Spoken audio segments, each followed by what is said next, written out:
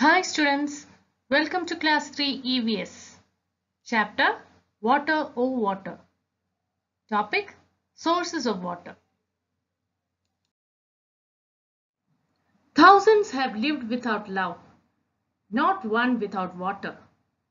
Remembering the famous quote of W.H. Auden. Do you know from where do we get water?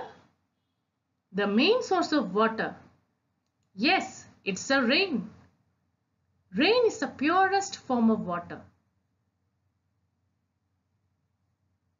Rain supplies water to some other sources which we commonly use. Here are some of the sources of water. Identify them. Well, it is a river. Hand pump. Sea or ocean. Waterfall. Dam.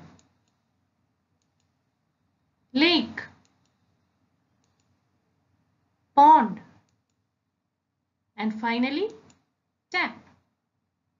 These are some of the sources of water that I spoke about. Now, observe these sources of water.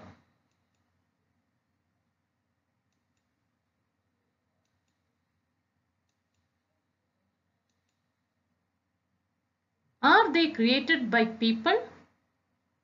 No, these occur in nature. Therefore, these sources of water can be called natural sources of water. Sea, river, lake, waterfall, pond, etc. are natural sources of water. Look at these sources of water. These are made by us or people. Therefore, these sources of water can be called as man-made sources of water.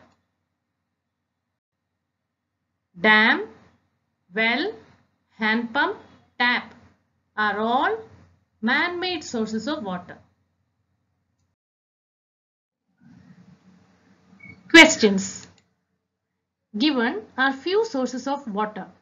Arrange them in the column accordingly. Dam, river, well, sea, tap and pond.